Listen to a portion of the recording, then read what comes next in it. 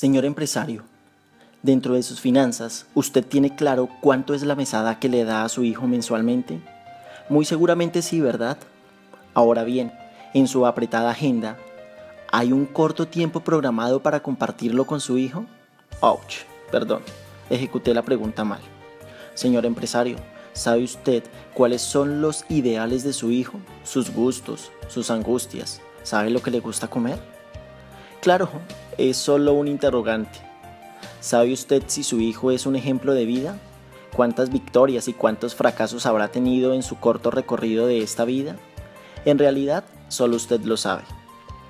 Bien, ¿sabía usted que su hijo no es solo un factor económico que desangra su empresa? Su hijo es un extraordinario ser humano el cual es digno de admiración. Esto lo dicen las personas que lo rodean y que lo conocen, su madre, sus hermanos y muy seguramente sus amigos, sus maestros y hasta su misma pareja. Para ellos es un orgullo. Muy seguramente esto para usted no es nuevo, para su hijo tampoco lo es. Lo que realmente sería nuevo es que fuera usted esa persona que le hiciera saber a su hijo lo importante que es. Usted para su hijo es más que un empresario.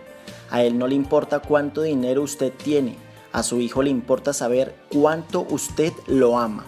Ouch, es verdad, más que dinero, su hijo necesita un verdadero padre que realmente lo ame y le diga lo orgulloso que se siente de tener un hijo como él. Es simple, señor empresario. Usted para su hijo es su superhéroe.